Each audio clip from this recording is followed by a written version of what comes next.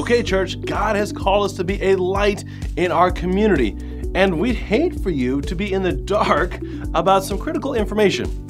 And even though I just crossed metaphors there, I'm to segue anyway into reminding you to scan those bulletin signs you see in the church foyer and in the sanctuary with your smartphone camera every Sunday because that's our digital bulletin. And you can find sermon notes, scripture passages, helpful links, links to our live stream, links to our video announcements, links to giving, the works, some devotionals, and all of our announcements. It's all there. So every Sunday, scan that sign and you're good to go. It is so good seeing all of you coming out for Wednesday night Bible study right here in the MPB at 6 p.m. Now, if you can't make it, we will always have the Zoom link available for you. Now, you might be wondering, hey, where can I get this Zoom link you speak of? I'm so glad you asked. hey, if you want to find the Zoom link, then a good way to find it is by subscribing to our bi weekly email, our e news. And you can do that by going to fbcpville.simplelists.com com to click there and register for e-news and other emails as well. Of course, you can always click on the slide graphic you're seeing right now on our website to get to that link as well. Now, the other way you can find all of our Zoom link information and password for the Wednesday Bible study is by joining our church Facebook group. So request it, and I will check to make sure you're not either a terrorist or trying to sell us something, and you're in.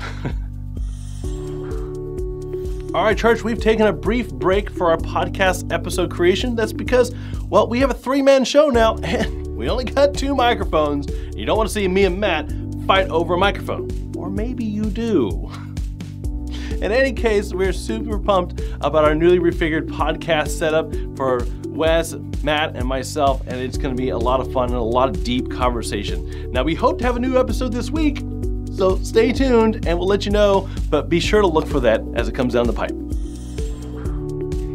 Hey, parents of kids, not youth, kids.